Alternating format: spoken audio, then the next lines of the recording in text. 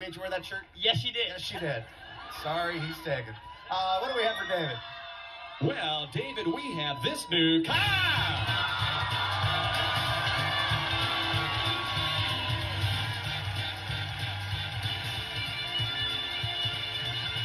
It's a Subaru Forester 2.5X comes stamped with a 2.5-liter 170 horsepower engine, daytime running headlights, and underfloor cargo and storage. Plus, auto-dimming mirror with compass and HomeLink and painted fabric protection, the Subaru Forester. Hey, Amber.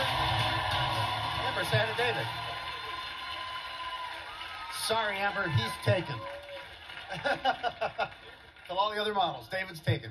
Uh, playing a game called Lucky Seven. Here's how it goes. Let me reach into my pocket here and give you seven dollars. Here's seven one dollar bills. We're going to show you the first number in the price of the car, which is a two. Now, one by one, you're going to give me the next numbers in the price of the car. For every number you're off, Okay. I'm taking a dollar away. All right. You have six dollars to lose, four numbers to give me. Okay. You have to have a dollar left when it's all done to buy the car. You have to have at least a dollar. Uh, what do you think the next number is in the price of this car? Subaru Forester. Subaru Forester. I'm going four. Is it because it's a Forester? Yes. Yes. He's going with a four. A one. Give me three bucks. That's not a good start. Not a good start, David.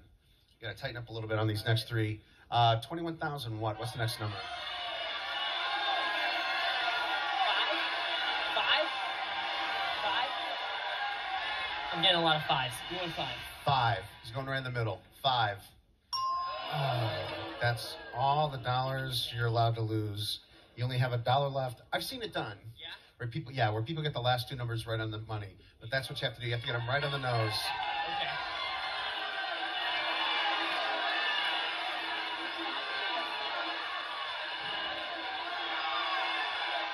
I'm going two. Two.